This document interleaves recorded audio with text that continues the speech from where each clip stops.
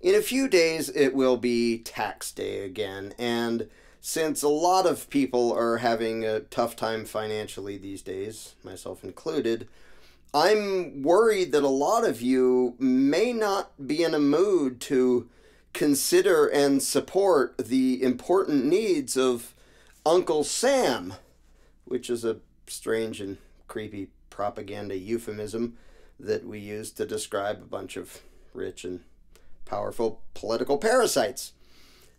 So I'm making this video as a sort of pep talk to encourage you to do your civic duty and honor your obligation to support this great country of ours and and pay your fair share of the costs of society. Now, let's be clear about our terms here. When I talk about this country and society, Obviously, I'm not actually talking about you or your neighbors or all the other taxpayers, because if I was, I would be encouraging you to give money to yourself, which would be both schizophrenic and pointless.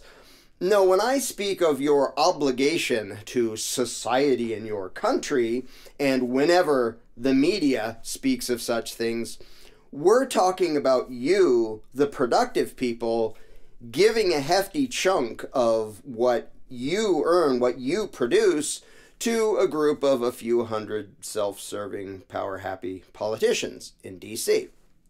You see, you helping the economy by spending your own money uh, on things you choose to buy, or voluntarily investing your money in various endeavors, or actually helping in your own community, giving to individuals and charities or patronizing local businesses or, or running a business yourself and thus creating jobs yourself, none of those make you a good subject. I mean, citizen. No, supporting your country and paying your fair share of the costs of society refers only to all of the productive people, including you, handing over trillions and trillions and trillions of dollars to a tiny group of a few hundred politicians off in some grandiose hall somewhere. Now, you might wonder why that is. It's it's because government does glorious, benevolent, essential things with your money things that you're far too selfish, stupid, and short sighted to do on your own. So your betters, your political masters, need to spend your money for you. Now, maybe you think I'm talking about maintaining the roads or something like that. Well, no, things that might actually benefit you in some way make up only a tiny fraction of what the politicians steal from you. For example, out of a federal budget pushing $6 trillion, only about 1% of that has anything to do with maintaining and fixing highways and bridges and so on. So, if that's what this fair share thing was all about, funding things that might actually benefit us mere peasants, then even with the inefficient, corrupt, mangled government version of those services, we could still start by all getting a 99% tax cut. So, no, the reason you should proudly and faithfully pay your taxes and cough up all that money has nothing to do with benefiting you or the mere peasants. Uh, your duty to society isn't about enriching and empowering the normal people, it's about enriching and empowering the ruling class because, duh, if it was about empowering the normal people, the best way to do that is let all the normal people, including you, keep and spend their own money. But no, all of the actually honest, productive, decent people are morally and legally obligated to hand over trillions and trillions of dollars to a tiny group of political parasites. Uh, for what purpose, you might ask? Well, I don't want to get bogged down in all the exact numbers, but I mean, you can look them up in the federal budget if you wish. But I'll give a few of the important things that need your support, things that should fill you with a deep feeling of obligation, things that you should be happy and eager to fund. As one example, occasionally the politicians just directly take your money by way of taxes and then through bailouts give incomprehensible sums to the richest individuals and businesses in the world, including gigantic banks and massive corporations, because they're too big to fail, you see. You're not too big to fail, by the way. If you fail, become broke and homeless and whatever, tough luck. But if the politicians' billionaire buddies and the massive corporations have trouble even if it's of their own making, well, then it's your civic duty to bail them out, whether you want to or not, and whether you can afford to or not. Now, they used to be a little more subtle about the ways they would take your money and funnel it to the ultra wealthy, but recently they figured out that they can just do it directly, right out in the open, right in front of your face, take it from you, and give it to giant banks and corporations, and you'll just damn well put up with it. You might threaten to vote for somebody else in a few years, but since Democrats and Republicans are both doing this, that makes no difference. Next, you should definitely feel an obligation to pay your fair share so that the US government can give what you earn to a bunch of foreign governments, too. Billions to Afghanistan, billions to Israel, now many billions to Ukraine, and so on and so on. Now, they describe this as giving aid to those countries, but of course, what they're actually doing is giving money to the ruling classes of those countries, not to the rabble over there.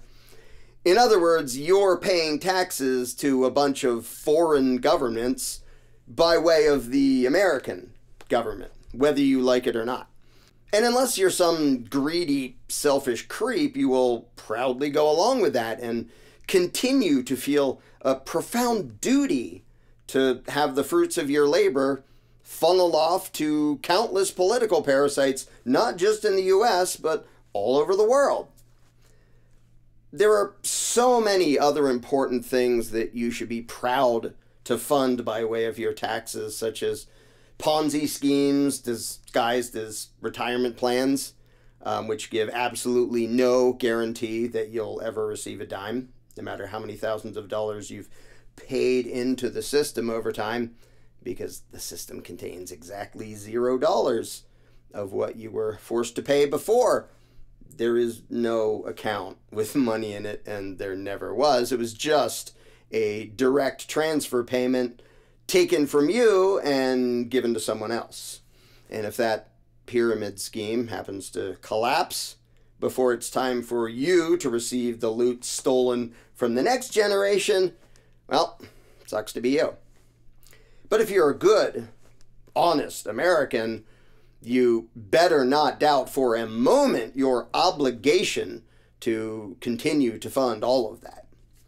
And if you think for some reason that you should be allowed to just save for your own retirement instead without paying into or receiving anything out of the political Ponzi schemes, well, obviously you're just an unpatriotic criminal terrorist.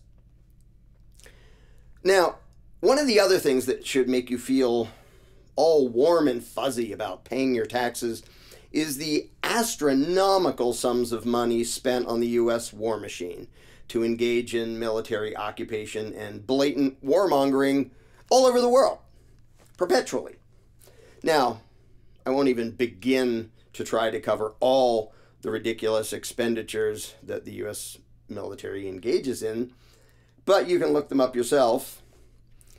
And I'll give one example the U.S. military's involvement in Afghanistan for 20 years cost around $300 million a day, every day, for 20 years. $300 million a day, every day, for 20 years. And that's just Afghanistan. That's not the whole military budget, nowhere near. Now, are you a good American who will gladly forego all the things that you might have been able to provide for your own family in order to fund that, whether you wanted it or not? Also, you need to pay your fair share so that the Pentagon, basically the clubhouse of the biggest gang of psychotic warmongers in history, can spend a couple trillion dollars on, well, you don't get to know what they're spending it on.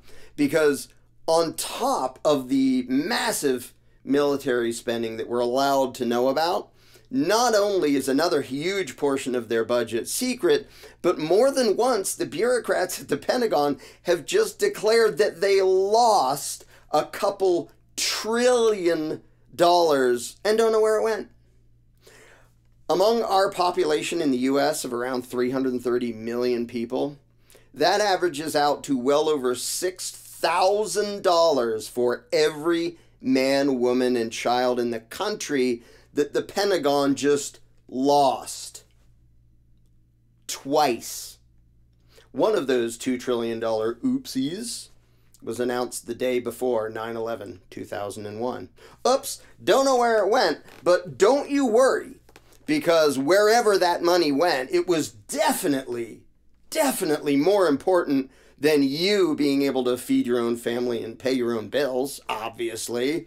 And this definitely should not make you for a moment think that you're not obligated to hand over promptly and happily whatever amount whatever chunk of what you earn that the politicians decide they want at any given moment.